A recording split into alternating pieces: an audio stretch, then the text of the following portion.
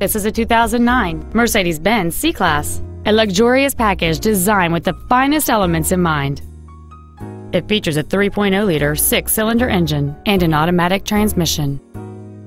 Its top features include a sunroof, dual power seats, a leather-wrapped steering wheel, cruise control, heated side view mirrors, a CD player, a low tire pressure indicator, traction control and stability control systems, and this vehicle has fewer than 19,000 miles on the odometer.